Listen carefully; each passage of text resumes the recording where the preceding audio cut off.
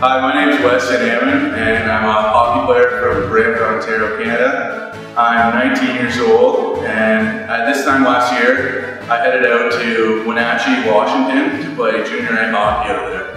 And I was out there for about four weeks, and my season came to a quick halt. I tore the labral cartilage in my hip, and I had a bone spur on the end of my femur.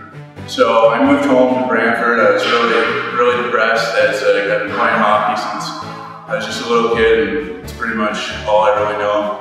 And so I, I really didn't know what to do. And the earliest I could get in for surgery was about six months after I moved home in, in September. So I got the surgery finally, and the doctor said like at least six months, and then possibly may not be able to play hockey.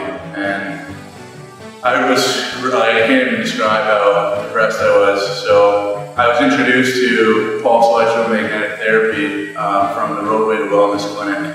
And it literally changed my life. About six weeks after my surgery, I, I hopped on the bed. And three months after surgery, I was skating.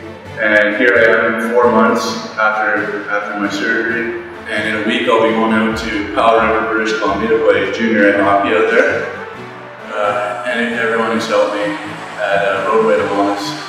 It's been a huge uh, leap for me and look forward to the opportunity to have a bed like that to lay on and give me another shot at a career as a hockey.